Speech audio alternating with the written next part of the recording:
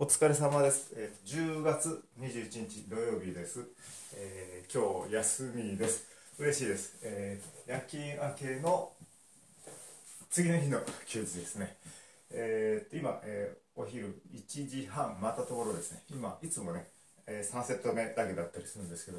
えー今日はまだ何もしてません。ということで、えーまだね、夜勤が入っちゃうと、あの、飛んじゃうんですよね、なんかやっぱりリズムが。えーで夜勤明けで帰ってきて、まあ、帰ってくるのもねちょっと実家寄ったりあの夜勤明けでまだちょっと仕事してたりしてたんで、えーもう眠たくてみたいなのもあって自宅戻るのが結構2時3時とかでいやもうそっからはもうやるつもりだったんですけどもうそのままもうご飯食べてまた。ね、もうお酒飲んじゃうとダメですよね。もうそのまままた夕方というかね、6時ですね、18時に、えーじゃ、え寝てもうそのまんまです。で今日朝起きて遅めに起きてまあ12時間以上ねなんとか寝て回復して、えー用事済まして今かさゆっくりやろうかなというところです。でまた間空いちゃったんで、えー背中もねいい感じ効いてたんでまた胸からやっていこうかなと思います、えー二頭筋三頭筋でよかったんですけどせっかく時間あるんでねあのだらだら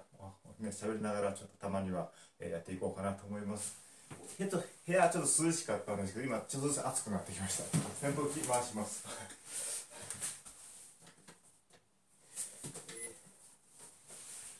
で、えー久しぶりにベンチで60キロつけてみました、えーどのぐらいぶりでしょうね。本当に2年とか空いててちょっと上がるのかってラックがないんでちょっと危ないんですけどもうおすすめしなしません、えー無理くりベンチプレスやってるんで、えー本当にベンチする人はちょっとやっぱりラックがあるあらないとダメですよね、まあ、一番理想はパワーラックなんですよね。あのセーフティーバー入れれるラックがあればいいんですけど、えーなんとかちょっと工事用で低レフでちょっと久しぶりにやっていこうかなと思います。全然あの関係ないんですけど会社でなんと社社長がジムね、ウエイトの器具を選んでくれみたいなね福利厚生で会社の4階で置きたいんだみたいなこと言ってて、はい、実現したらまたね、えー動画上げていこうかなと思います。ということでさて一発目。これで60キロあるはずなんですよね。10キロ20キロ30キロ。56キロ66キロ。もう一回数えたいと思います。ちょっと一旦上げます。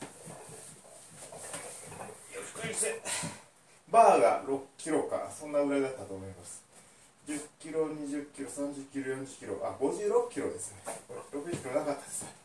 ちょっとはい、えー、やっていきます。基本的にちょっとできるだけ体硬いんでそんなに高いブリッジではないんですけども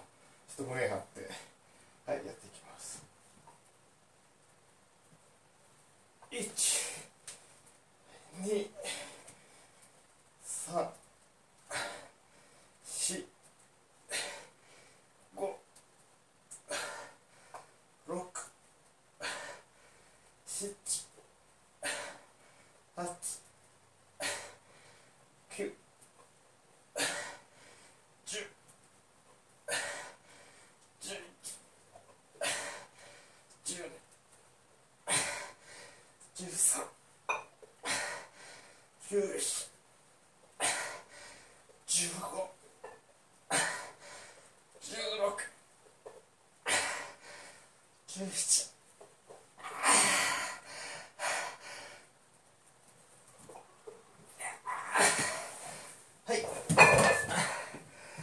48回でしたよ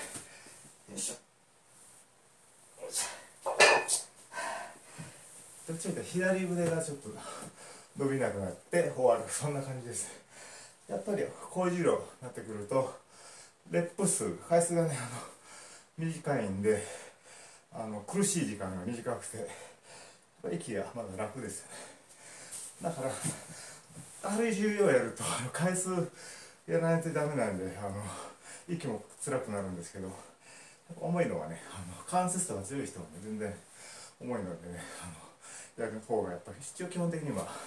筋肥大にはいいということです。とはいえ苦しいです。いつも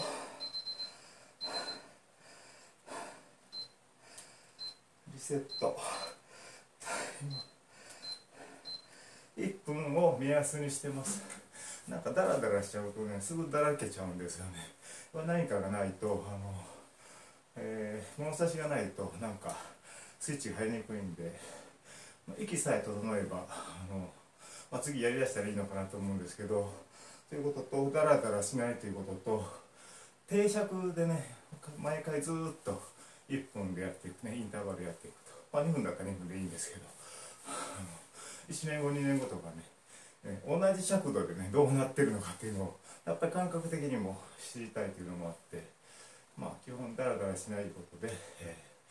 えー、1分間一旦決めてやってます。だから全然あの厳密ではないんですけどね。息整わなかってこうやって喋ったら全然あの時間変わってくるんですけども定食でやらないとねあの今日はなんか楽だったな。それはね休憩時間長くなるとやっぱり楽に上がったりするんで一応時計はねあの買ってます。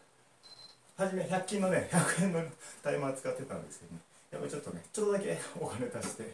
ちょっといいの買って、えー、モチベーション上がるようにしてますということで。基本2セットね休憩してるとやっぱり上がらなくなるんで自分の目安として8掛けで、えー、目標にしてやればいいのかなと思います18回の、まあ、8掛けというかまあ3ぐらい引いて3回4引いて、えー、15回ぐらいのね目標次ですね、えー、やっていきます。今日ストレートセットです。やっぱりあの回数やってないんでいつもよりパンプ感がやっぱないのがそれがちょっとなんか、えー、寂しくて本当効いてるのかなって気がするんですけれどもウェブでは低回数5から10回が、えー、右左ということで、まあ、久しぶりにそれでやっていきます。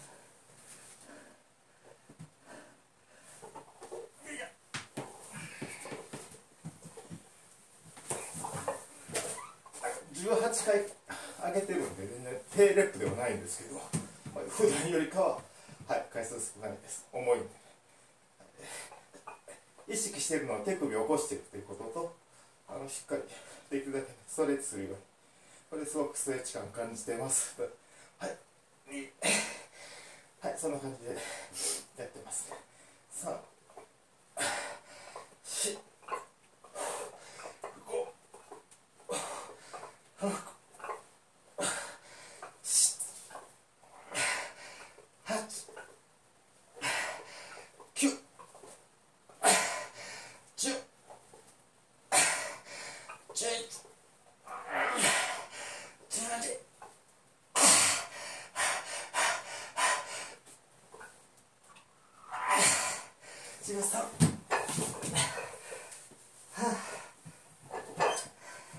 4 5バウンド利用してあげましたけどね。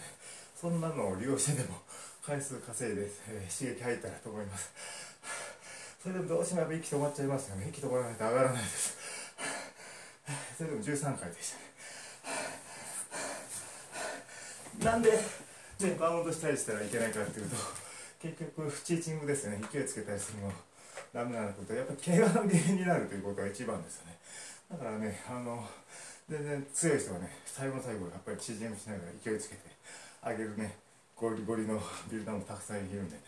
決してまあ間違いではないんで頻繁にするとやっぱり怪我のもとになるのと気がしたいところに効かないと、えー、それがデメリットです。それ分かってやる分にはいいのかなと思ったりはします。今日はトマトジュースです。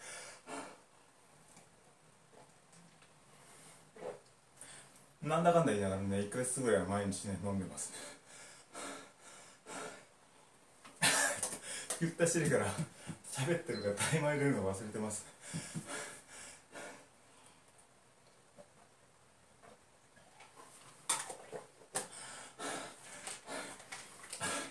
そんだけ飲んでたらちょっと今日この量じゃ持たないです。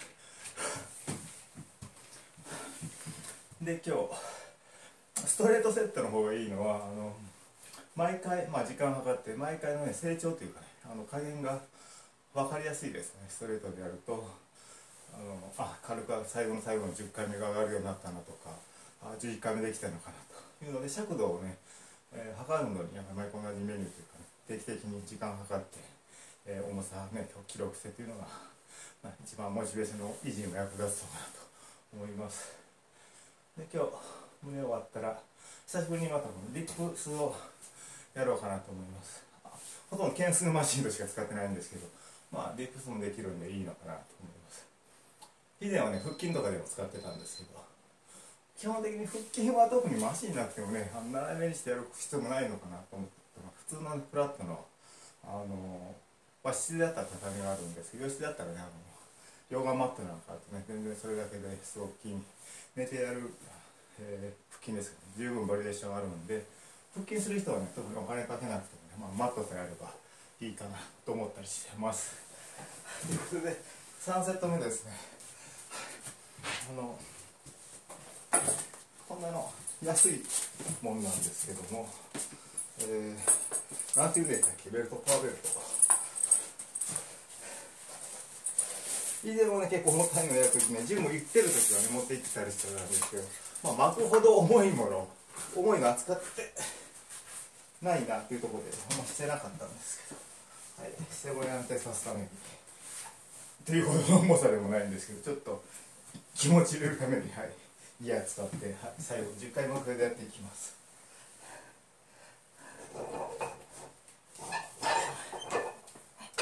まあ、手袋も当然有用なんですけど気分盛り上げるのにねあのいいのかなって思うんでぜひあの初心者の方もギア集めるのはおすすめです。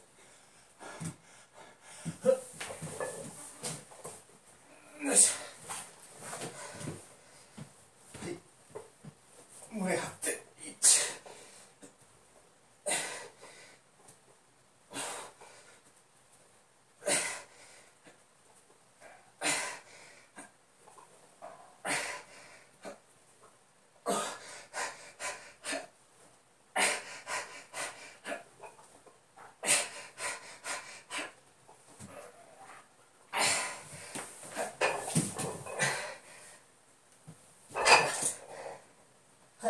10回です。もう一回1分休憩入れます。次ねあの種目別でね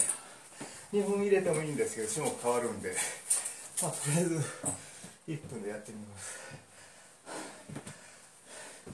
以前はねリップする時重さねウエイトつけてやってたりもしてたんですけども。まあ胸の2種目 ,2 種目目なんで。どうでしょうね20回ぐらいできるから。ちょっと20回目標でやっていきます。ということで今日休みなんですけど時間があればあれ、ね、ああればね本当にそれはそれでまた結構面倒くさいんですよね。邪魔くさいですよね。誰か友達とやるとかね約束があればね、えー、それはすごく楽しいんでしょうけど。それがね筋トレのね続かない。ところかなと思います。なんか一人でやるってなかなか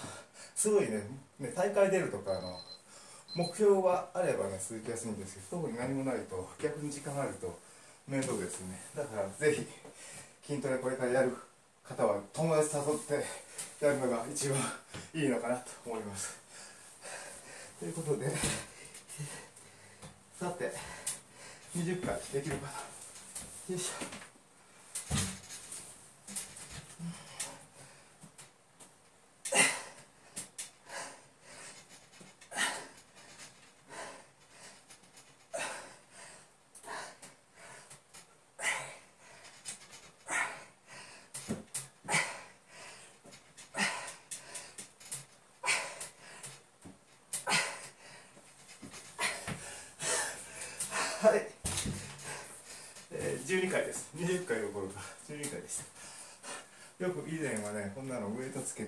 1回3セットもやってたなと思います。やっぱりそう続けないとなかなかですよね。続けれればまた勝ち上がってくるかなと思います。で最近はずっと短期間だったんで短時間だったんでなかなかです。でまあ時間あると一番まあ時間ない時でもいいんですけどまあ本当に面倒くさいなってもうしょっちゅう思ってるんですね実は。ただまあそういう時はもうあまりえー、何も考えずに、とにかく部屋に向かって、とりあえず一回やってみよう。それ以上のことは何もね、何のためにやってるとかね、しんどいなとか、あんまりもういらないこと考えずに、えー、やるのがコツかなと思います。で結構ね、しんどかったですね。えできるだけねやっぱり下ろしてストレッチ感じて、はいえちょっと前かがみにしてねあの胸に負荷が乗るように意識しながらやってますなんだか言いながら当然三頭筋の運動にもね、はい、刺激になってます。ということで必然的に腕トレしなくても実は腕太くなっていくので、えー、大きいね、えー、筋肉動かした小さい筋肉も動くので、えー、時間ない時ほど、えーえー、ベンチプレスとか重いもの扱うやつですね。やれば、はい、小さい筋肉も刺激していけます。ということで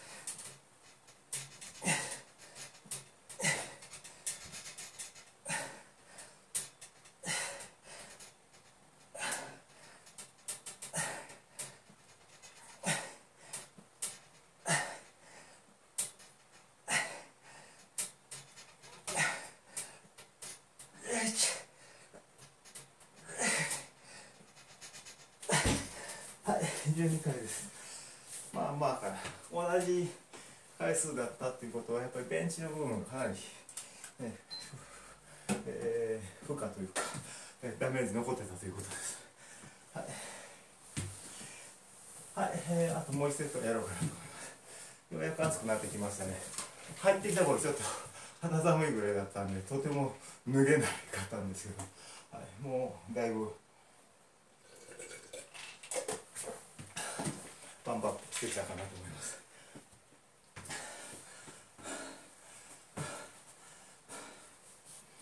あとねなんとなく3セット。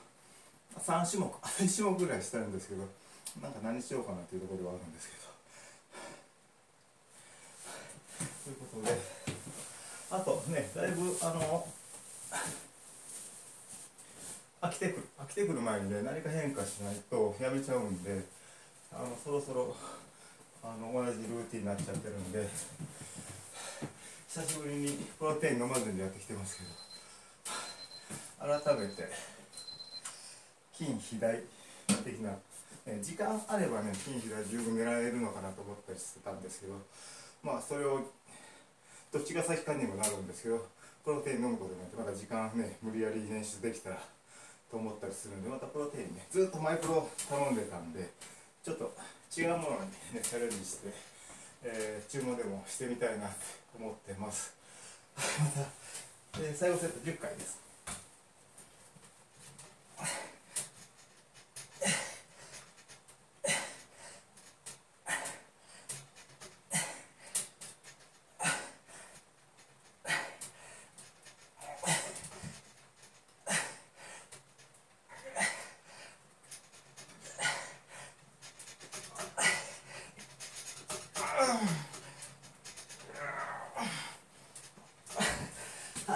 3回、まあ、1回頑張りました。やっぱりちょっと最後ちょっと下ろしすぎかな。やっぱちょっと肩に違和感あったんでやっぱ下ろしてくるのもねストレッチすごく大事なんでしょうけど無理すると、ね、すぐ痛めちゃうんでね。はい。やっぱストレッチ大事ですけど下ろしすぎとか引っ張りすぎ注意です。ということでもう一回1本。でじゃあ一番本当はこのインクラインの、えーですね。インクラインでやります。でインクラインだとやっぱり重さね上がらないんです、えー、半分肩に逃げちゃうんでで当然肩の筋肉ちっちゃいんであのウエイト基本的にはインクラインすると上がらないんです。ということとラックがないんであのインクラインのスタートポジションにねすごく持ってきにくいんですよね重いと。まあいわゆる危ないんで。ちょっとウエイトを減らそうかなと思います。これが1セット目だったらねまだ筋量筋肉というかパワー残ってるんですけど。ちょっと。実際はねこのぐらいの重さでやればねちょうど10回ぐらいの、ね、5回から10回ぐらいの重さになるのかなというところではあるんですけど。ちょっとあの10キロ減らします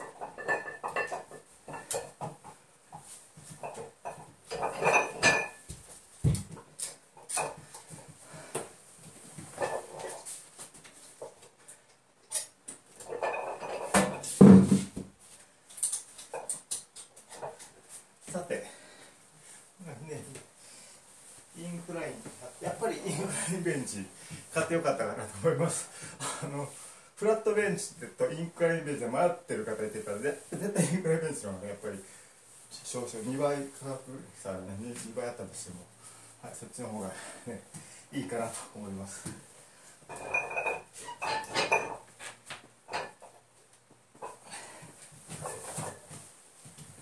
ね、ここが持ってきにくいんですよね。スタートポジションにね重いと来ないです。鎖骨の上にゆっくり下ろしていきます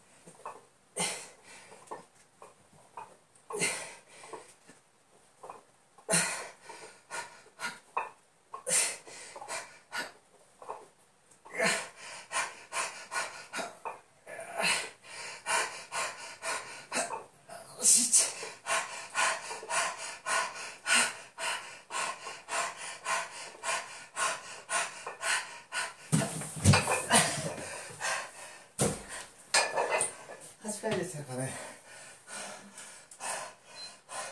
まあそれでいいんでしょうね自分はいつも回数上げてるんで物足りない感じがするんですけど。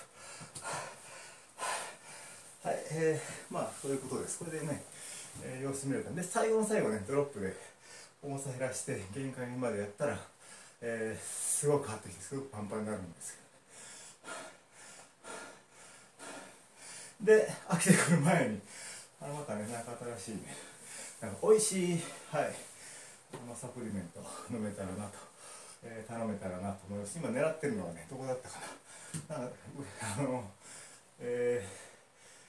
ー、SNS みたいにしょっちゅうねあのやっぱり筋肉情報ねばっかり見てるとそれらばっかり集まってくるんで 外に入ってくるプロテインそこ頼もうかなと思ったりしてます。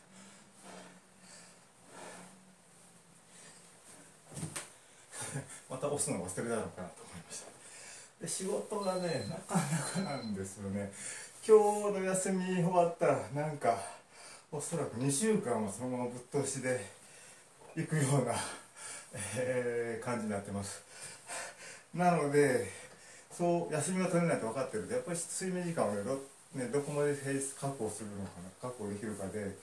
なってくるんでまああのできるだけ続けたいなと思いながらまた5分筋トレでもいいから続けていきたいなと思ってます。ちょっと忙しすぎるんですよね。はい。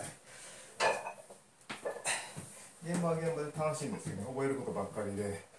勉強になってすごくいい感じでは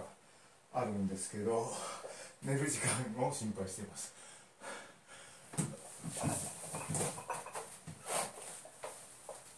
そうです。やっぱり無理がありますよね。おすすめしません。楽買いましょう。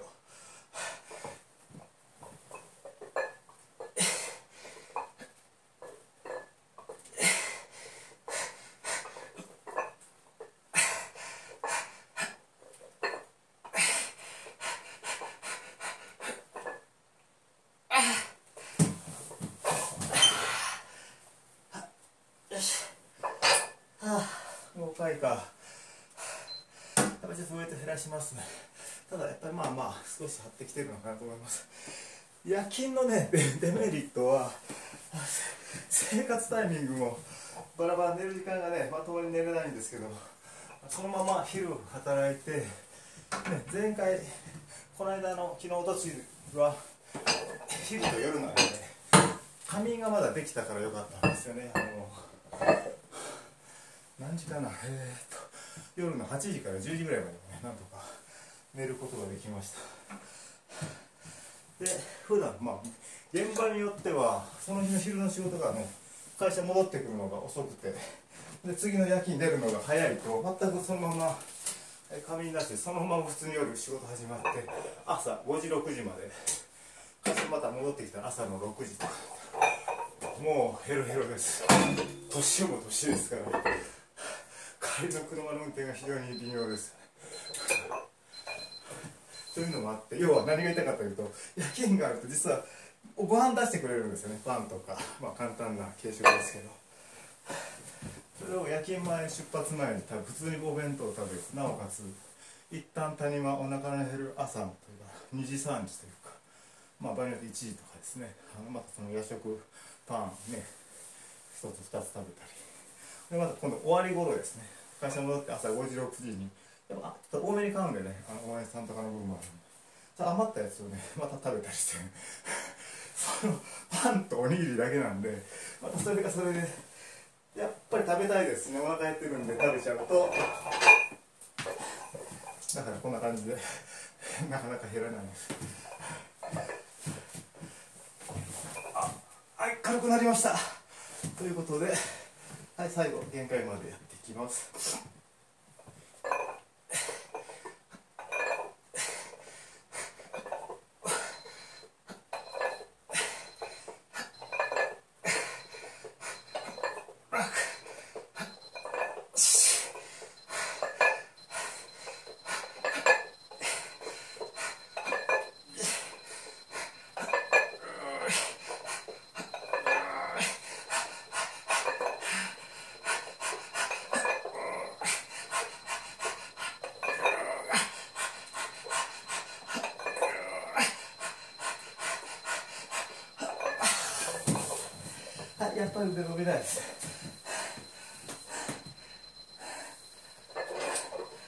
はい。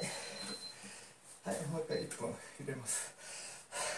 ということもあって、やっぱりそういう意味もあって、なんか、三頭筋は三頭筋でね、太くしたいというよりも、ベンチの回数伸ばしたいっていうのもあって、なんか三頭筋もやらないからという感じです。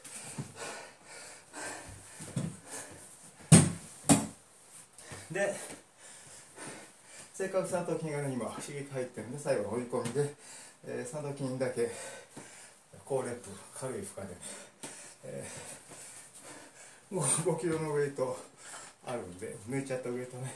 こんだけ軽いと本当に小さい筋肉です。三頭筋か肩ぐらいのウェイトです。ねこれで久しぶりに、えー、なんていうんだっけか、えー、肘肘を固定して三頭筋追い込んでいきます。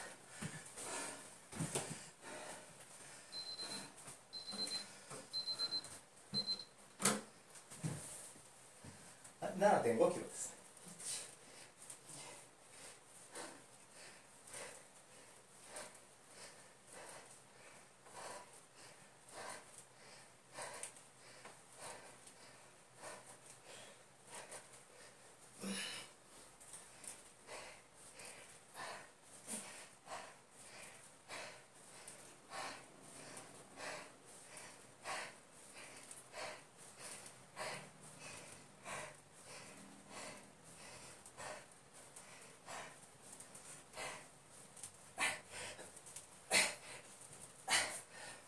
ここでね重い負荷やれば強くなるのかもしれませんけど。はい。で最後もう少し軽いやつですね。片方5キロで、はい、ドロップセットやっていきます。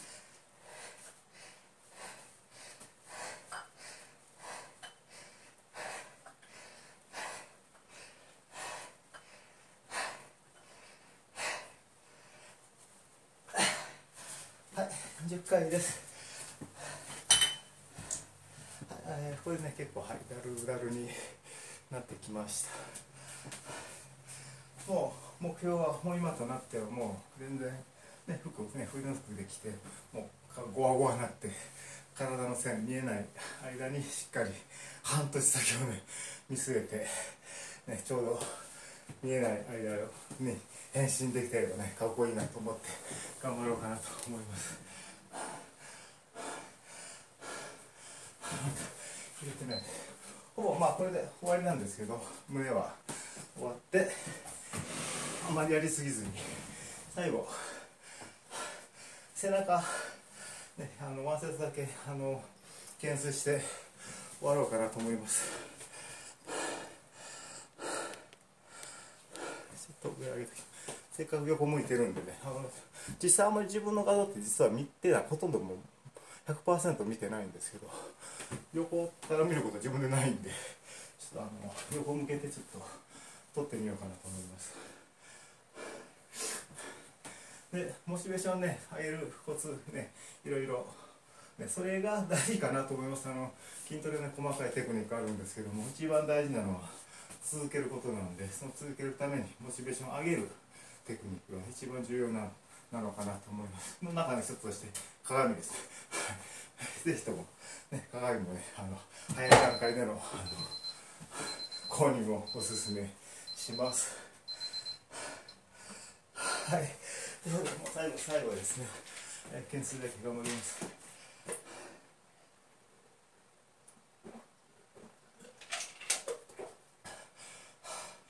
はい。トマトジュース美味しいです。でも意外とねやっぱ高いですよね。これ毎日ねあの 300cc、400cc 毎日飲むともうプロテイン並みですね。1ヶ月6000円ぐらいかかっちゃうんで。まあどちらかです。ねただいらないものビタミン剤とか買うよりかは、まあ、まだ健康的でいいのかなと思ったりします。はいじゃあ懸垂やって終わりた終わります。最後もほとんどほぼほぼねノーマルのワイドのワイドの懸垂が一番やっぱりオーソドックスに後輩に効くと思ってるんで、はい、1セットだけなんで普通のオーソドックスな、はい、懸垂でやっていきます。はいせーの。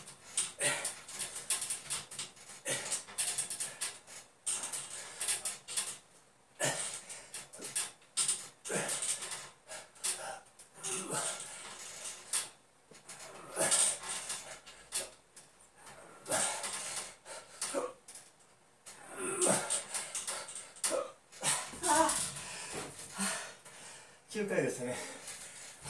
ね普通だったら1セット目15回ぐらいできるんですけど9回でしたということはやっぱりあのベンチしながらもやっぱり腕とか肩とか、まあ、背中もやっぱり力入ってるのかなと思いますということで今日はこれで、終わりですはいちょっとダラダラしたつまらない話ばかりでしたけど最後までご視聴いただき